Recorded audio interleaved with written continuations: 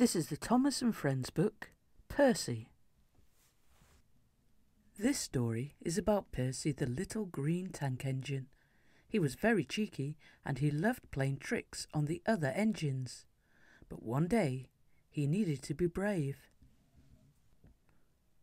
Percy loved playing tricks on the other engines, but these tricks sometimes got him into trouble.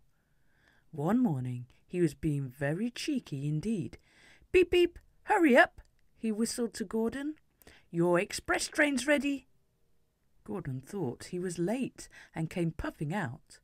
But when he looked around, there was only a train of dirty coal trucks. Ha ha! laughed Percy, but Gordon didn't think it was funny at all. Next, it was James's turn.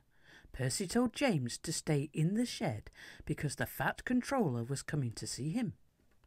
James was a very proud engine and thought that the fat controller must want him to pull a special train. He stayed in the shed all day, and nothing his driver could do would make him move. The other engines were very annoyed. They had to do James's work as well as their own. At last, the fat controller arrived. He was very cross with James. But he was even more angry with Percy when James explained what had happened.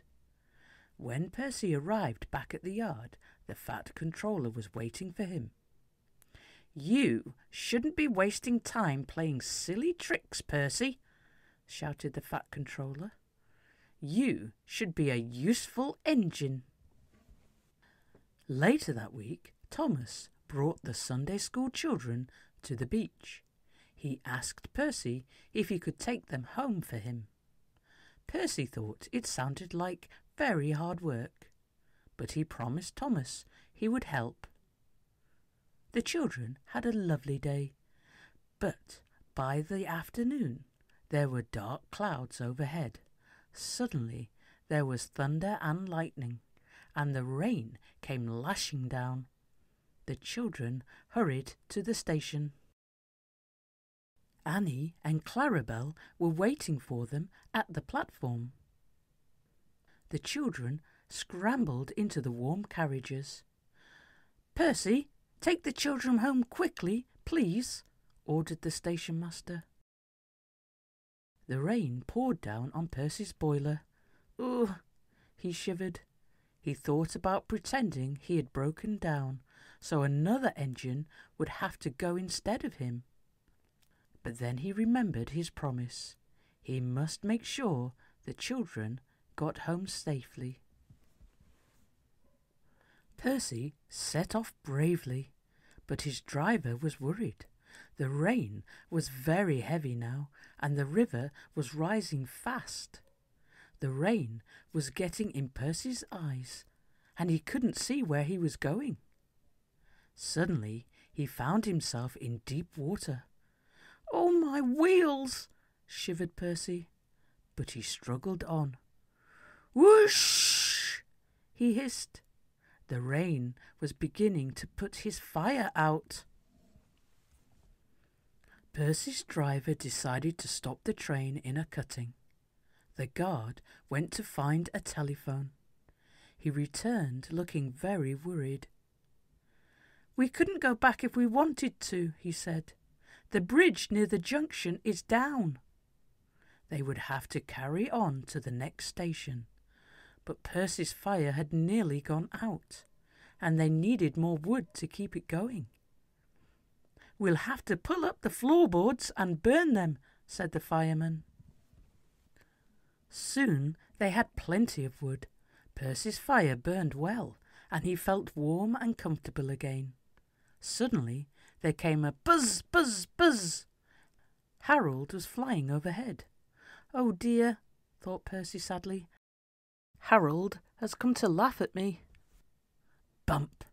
Something thudded on Percy's boiler. A parachute had landed on top of him. Harold hadn't come to laugh. He was dropping hot drinks for everyone. Everyone had a hot cocoa and felt much better. Percy had got some steam up now. Beep beep! Thank you, Harold, he whistled. Come on, let's go. As Percy started to move, the water began to creep up and up and up. It began to put his fire out again. Whoosh! Shivered Percy. Percy was losing steam, but he bravely carried on. I promised Thomas, he panted. I must keep my promise. The fireman piled his fire high with wood. I must do it, Percy gasped. I must, I must, I must. Percy made a last great effort and cleared the flood. Three cheers for Percy! called the vicar, and the children cheered as loudly as they could. Harold arrived with the Fat Controller. Harold told me you were splendid, Percy, said the Fat Controller. He says he can beat you at some things, but not at being a submarine. I don't know what you've both been doing, but I do know that you're a really useful engine. Oh, thank you, sir, whispered Percy happily. The news of Percy's adventure soon got back to the station.